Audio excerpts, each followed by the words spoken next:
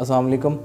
PH meter हम लोग deal कर रहे हैं अनीज़ा इंस्ट्रूमेंट, चाइना की कंपनी है। ये अनीज़ा इंस्ट्रूमेंट बेसिकली चाइना की सबसे बड़ी मैन्युफैक्चरिंग कंपनी है, जो इन इंस्ट्रूमेंट्स में डील कर रही है। पीएच मीटर बेसिकली हम लोग यूज़ करते हैं किसी भी लिक्विड की पीएच को डिटेक्ट करने के लिए। उससे हमें अंदाज़ा होता है कि ये लिक्विड एसिड साइड पे है या बेसिक साइड के ऊपर है। अनीज़ा इंस्ट्रूमेंट का जो ये पीएच मीटर है, ये fully G L P G L P compliance के साथ है। आइए हम आपको इसके फ़ीचर्स के बारे में बताते हैं।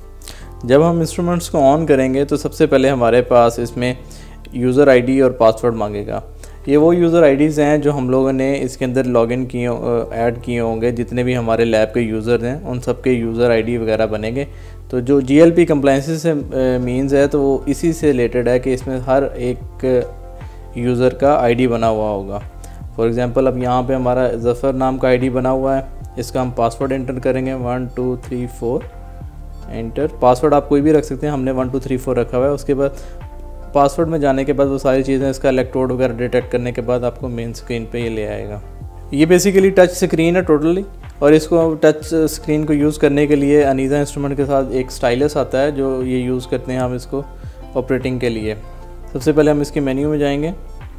मेन्यू में हमारे पास ऑप्शन हैं repeat last measurements methods manage sample ID measuring ID management EC ID management view store results view pH buffer groups और सिस्टम सेटअप्स तो वैसे तो पीएच मीटर में नॉर्मल जस्ट पीएच चेक करते हैं, लेकिन जो इसमें जो एक्स्ट्रा फीचर्स हैं, उसमें मैं आपसे थोड़ा सा शेयर करना चाहूँगा। सबसे पहले इंपॉर्टेंट फीचर इसका सिस्टम सेटअप के अंदर अगर हम व्यू पीएच बफर ग्रुप के अगर अंदर हम जाते हैं तो इसमें हमारे पास जो ऑप्शन है, वो मुख्तलिफ़ डिफरेंट बफर ग्रुप्स हैं। जो मुख्तलिफ़ एक्रीडेटेड बॉडीज से एक्रीडेटेड हैं। जैसे कि जीबी बॉडी है डेन नेस्ट और ये ट्रेसिबिलिटी जो भी हम बफ़र यूज़ करते हैं, उसकी ट्रेसिबिलिटी मुख्तलिफ़ एक्रीडेटेड बॉडीज़ के साथ होती है। तो इसमें तीनों ऑप्शन मौजूद हैं, और इसके अलावा इसके अंदर कस्टम ग्रुप भी ऐड कर सकते हैं। अगर आपका, इनके अलावा कोई बफ़र जो किसी एक्रीडेटेड बॉडी से एक्रीडेटेड है तो आप उसका ख़ुद से भी इसके अंदर ऐड कर सकते हैं। बफर ग्रुप के बाद हम आपको इसका जो एक एक्स्ट्रा फीचर है वो ई सी आई डी मैनेज है। जब ई सी आई डी मैनेजमेंट जाते हैं, इसमें basically E C means electrode की मैनेजमेंट है कि आपने इलेक्ट्रोड को कब लगाया था और उसकी डेट ऑफ़ इंस्टॉलेशन क्या थी और उसकी शेल्फ़ लाइफ क्या होगी। तो इलेक्ट्रोड मैनेजमेंट से भी आपको ये आइडिया होता है कि इलेक्ट्रोड की लाइफ क्या है और इससे रिज़ल्ट पे क्या फ़र्क पड़ रहा है।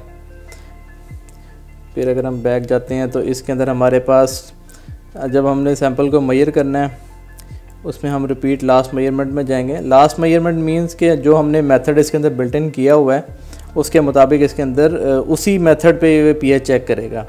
तो सबसे पहले वो जो, ये पाँच ऑप्शंस हैं, ये चेक करते हैं। सबसे पहले prepare sample solution in advance कि आप अपना सैंपल का सोल्यूशन एडवांस तैयार करें। उसके बाद इलेक्ट्रोड को प्रॉपरली कनेक्ट करें, उसको कैलिब्रेट करें और स्टैंडर्ड सोल्यूशन तैयार करें। इसके बाद जब हम नेक्स्ट में जाएँगे नेक्स्ट में हमारे पास वो कह रहा है कि इस टाइम मेज़रमेंट पीएच चूँकि ये इस मीटर के साथ हमारे पास सिर्फ़ पीएच ही इलेक्ट्रोड का पीएच का इलेक्ट्रोड कनेक्ट है, इसलिए यहाँ पे सिर्फ़ पीएच की ऑप्शन आ रही है।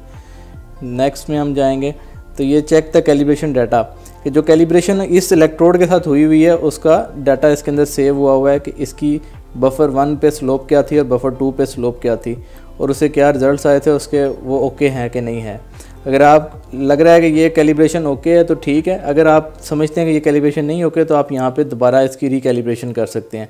मीन टू से कि मेज़रमेंट से पहले आप इसकी कैलिब्रेशन दोबारा कर सकते हैं। नेक्स्ट ऑप्शन पे जब हम जाते हैं तो इसमें सारे इसके डाटा है कि आप स्टेबल मोड कौन सा रखना चाहते हैं? फास्ट स्लो या मीडियम इसके बाद टेम्परेचर आपको किसमें डिग्री सेंटीग्रेड में या फ़ारन हाइट में शो हो। और इसके अलावा ये थोड़ी सी इसकी डाटा है जो हमने इसका इनपुट देना होता है। इससे नेक्स्ट ऑप्शन में अगर हम जाते हैं तो इसकी, ये है रिज़ल्ट्स का, कि रिज़ल्ट्स आपका कॉम्पोर्ट पे जाएगा प्रिंटर पे जाएगा या किस पे जाएगा, और सैंपल का आईडी क्या होगा। जैसे कि यहाँ पर ड्रिंकिंग वाटर लिखा हुआ है तो अगर आपका सैंपल लेट सपोज़ आपका चेंज है तो आप इसको चेंज कर सकते हैं यहाँ पे सैंपल फॉर एग्ज़ाम्पल हम यहाँ पे टैब टैब वाटर या टैप हम इसको अंदर इंटर कर सकते हैं।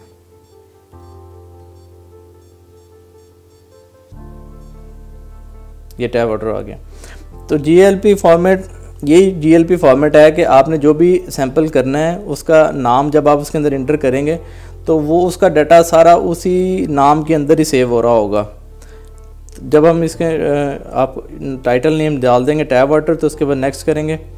तो उसके बाद रिकॉर्ड इंटरवल हर एक सेकंड के बाद उसकी पीएच नोट हो। उसके बाद आप नेक्स्ट करेंगे, वो इंश्योर करवाएगा कि आपने जो चेंजिंग की है वो ठीक है। उसके बाद इंश्योर करें। इंश्योर के बाद स्टार्ट मेज़रमेंट तो ये हमारी मेज़रमेंट स्टार्ट हो जाएगी। अब जैसे हमने इसके नीचे सैंपल हमने इलेक्ट्रोड पे सैंपल लगाना है और उसकी पीएच यहाँ पे रिकॉर्ड होती जाएगी।